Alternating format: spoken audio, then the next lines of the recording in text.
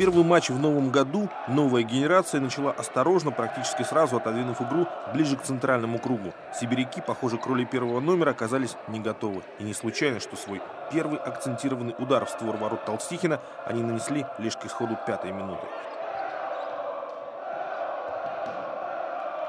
Хозяева ответили стремительным проходом Исламова. Новосибирцев выручил Густаво. Правда, как показалось с трибун, не без нарушения правил. Практически тут же голкипер гостей в акробатическом прыжке переводит мяч на угловой после удара Виктора Сосковца. Но и это было еще не все. На 11 минуте Белоусов буквально выцарапал мяч у лицевой и как на блюдечке выкатил его под удар все тому же Сосковцу. Своим суперсейвом Густаво сорвал все овации. По настрою к нему никогда нет вопросов. Он очень профессионально относится к своей работе и на каждую игру он выходит очень настроенным. Поэтому нет, я как-то вот именно в плане настроя не, не, э, не могу сказать, что он сегодня как-то был на себя не похож. Наоборот, он на себя похож. И он зачастую так эмоционально играет. Гости первыми открывают счет. Это Иванов удачно приложился к мячу после подачи с углового. Толстихин направление удара не угадал. 0-1. Спустя минуту Жан бьет с острого угла голкипер сыктывкарцев на месте. Новая генерация отвечает сольным проходом Виктора Прокушева. Вновь после его удара великолепен Густаво. И когда казалось еще немного, и гости дрогнут, забили именно сибиряки. Мяч после удара Жиана задел ногу защитника и предательски нырнул мимо Толстихина. 0-2 к перерыву. Вторую половину встречи хозяева начинают с непрерывных атак. Снова на ударной позиции Виктор Сосковец и снова в этой дуэли сильнее Густава. Уже в третий раз.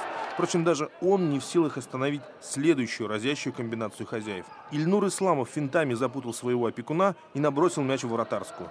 Политов дезориентировал голкипера гостей, и мяч никем не задетый влетел в дальний угол. 1-2. У нас новая схема немножко изменили. Вот мы отрабатываем на тренировках постепенно наберем. Ну, еще не все, не, не все получается, конечно. Но стараемся. Спустя три минуты обязан был забивать Чуйков, но на пути сыктывкарского футболиста, в который уже раз неприступной стеной встает Густаво. На 12-й минуте второго тайма Белоусов ценой желтой карточки срывает выход один на один. Штрафной гости разыгрывают на удивление легко. Покатыло спокойно принимает мяч, спокойно расстреливает Толстихина. 1-3.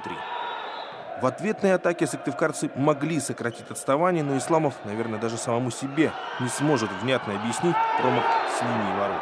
А спустя еще две минуты снова забили новосибирцы. Николай Плахов в быстром отрыве не оставил шансов Толстихину. 1-4. Все, чем смогли ответить хозяева, это удар Чуйкова, хитро пробившего в дальний угол. На финальный штурм ни сил, ни эмоций сыктывкарцев не осталось. 2-4 победа гостей. Ребята, могу только похвалить. В принципе, все великолепно. Даже не подберу другого слова. Э, подошли к этой игре, вообще подходят к тренировочному процессу. У нас, я считаю, что в игровом плане, вот в отношении именно к игре, все более-менее налаживается. А если, допустим, соперника устроил сегодня только счет, наверное, да, на табло, то, в принципе, я ребятам могу сказать, что и сказал в раздевалке, что не устраивает, наоборот, счет не устраивает, остальное все нормально.